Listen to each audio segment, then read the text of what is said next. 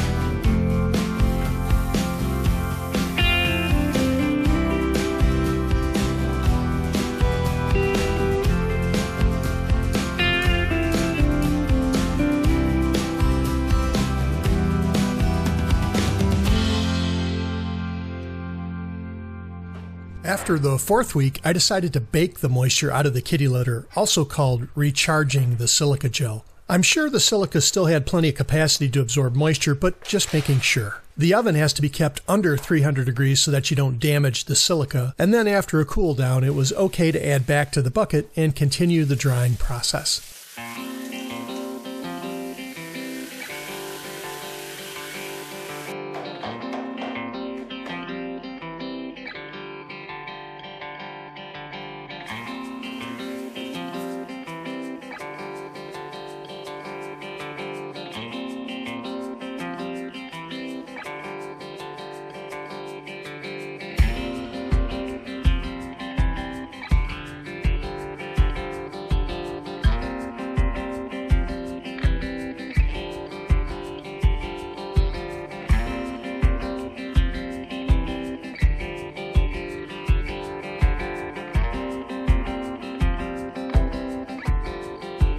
So within that span of time, if I run the math on this, I think between 2408 and 2092, that's not quite 15% of its total weight, which was absorbed by that kitty litter. So I'm to let it sit a little bit longer and see where we go.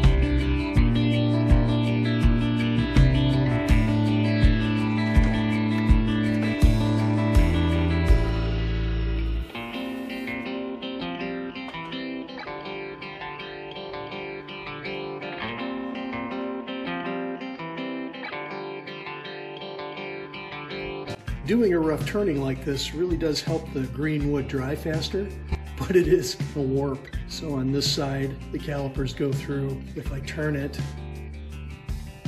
they get stuck. Because of that, this will be a little challenging to get back on the lathe because it's this out of round, but that's why I left the sides this thick. And finally, the wood did what I thought it was gonna do, and that is just gain weight from the humidity inside the house. So it actually gained another six grams just from absorbing moisture so, whether we're talking about a freshly cut chunk of tree found by the side of the road, or even a block of wood that you paid for that was supposed to be kiln dried, this is a simple and handy drying method that doesn't cost a whole lot to use. Best of all, the silica gel can be used over and over again with that oven recharging. Using silica gel is going to be harder if you want to dry large pieces of lumber or slabs, but for wood blocks that we want to turn on the lathe, perfect. In summary, I loved this experiment and the results I got with the silica kitty litter. Simple, cheap, effective, and great results in six to seven weeks. Things that weren't great, you can't prevent the wood from shrinking and twisting with any drying method, and the finished vase will need another turning to make it round. Hey everybody, thanks very much for watching. Hope you give us a thumbs up, subscribe to our channel, and leave us a comment too. Take care.